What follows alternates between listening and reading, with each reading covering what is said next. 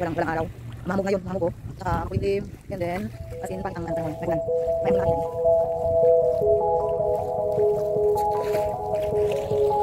atin